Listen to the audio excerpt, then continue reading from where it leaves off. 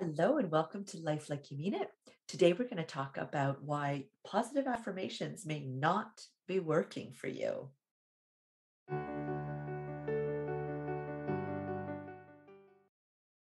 So it seems like every guru out there is talking about positive affirmations, and there is a reason they are so powerful. But when I take a look at a lot of the suggestions that gurus are having with positive affirmations, it seems like there's just a bit of a missing link here. There's a little gap that needs to be filled. And that is that not everybody understands that in order for an affirmation to work, you have to really be resonating at that energy frequency with what it is that you are saying. So if you are feeling really low, you are feeling like you have no confidence, right? You are going to fail at everything. You are maybe even depressed, and you've got to go and give a presentation at work. And you've got yourself convinced that you're going to be fired if this presentation doesn't go well. So you put on this added bit of stress on top of it for you to stand in a mirror and look at yourself in the mirror and say, I am confident. I am going to do really well at this presentation. I am a brilliant speaker. That's not going to be enough. What we want to do with a positive affirmation, ideally, is to look in that mirror, say with confidence, whatever it is that we are going to say as our affirmation, and take the time to allow ourselves to truly feel that. Now, in this moment, you may not feel confident. Absolutely not. Otherwise, why would you be using this affirmation? But there was a time in your life when you did feel confident. There was something. You know, maybe it was yesterday, maybe it was two decades ago. There was a time when you can remember feeling confident. You don't need to remember all of the situation and the experience itself. You just have to think back and just remember what it's like to feel confident. Now, confidence is a really interesting one because we hold ourselves much differently when we feel confident versus when we're not feeling very confident. You can see it in your body language. So that means that you can use that to your advantage.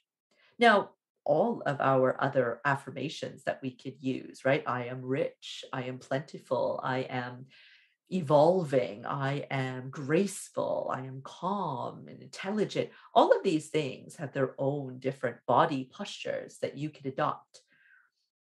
But confidence is something that it's palpable. You can really tell when somebody is walking down the street feeling confident.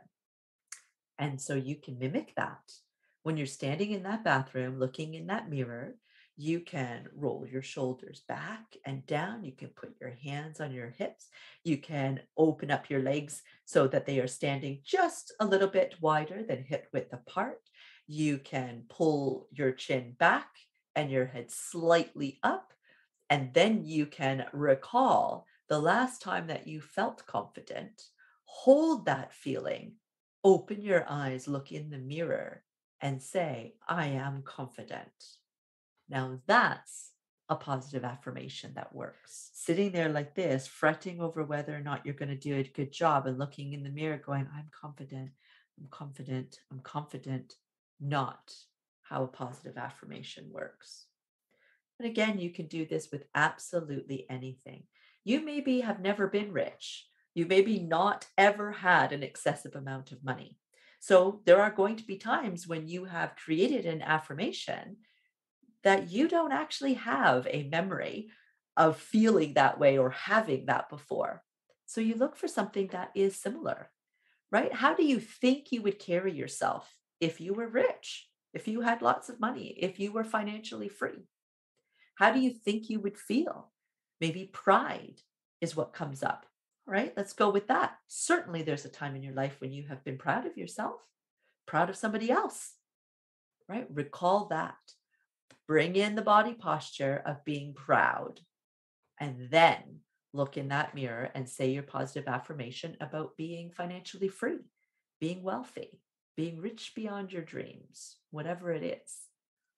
So you're always looking to link what it is that you are saying with a feeling you have already had, because that tells your unconscious mind that you already have it. Because your unconscious mind is feeling that feeling, knowing that it has felt this before with the words that you are saying, and says, Oh, yeah, I could definitely do this. I've already done it. Look at me. I am confident. I hope that helps. I would love to hear your thoughts on this video. I want you to go and try this right now with something like, I am confident. And I want you to come on back and write me a comment and let me know how it went. Bless.